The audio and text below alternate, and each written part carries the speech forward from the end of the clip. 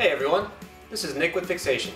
Today I'm going to show you how to install our Gates pedal straps with our Gates pedal. The first thing you want to do when installing your pedal straps is turn them over. You'll notice that the left strap is labeled with a sticker marked left.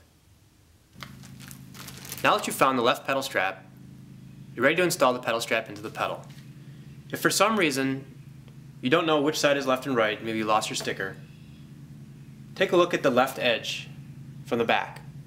On the left pedal strap, the left edge is the long edge.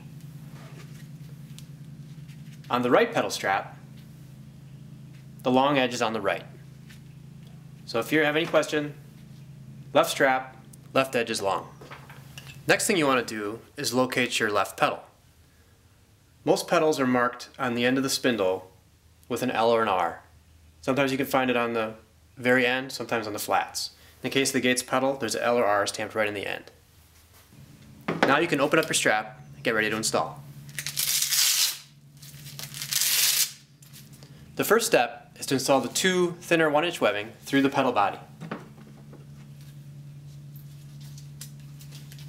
You do that by simply inserting the pedal strap through the holes in the pedal body. Pulling them all the way through. Be sure you don't twist the pedal strap when you install it through the body.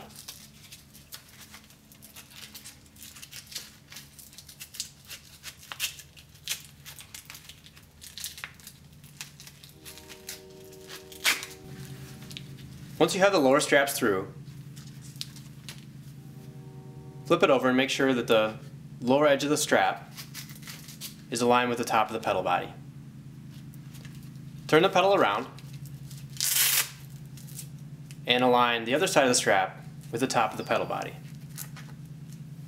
You're going to get the most stiffness and shape retention in your pedal strap by aligning this edge right on the face of the pedal.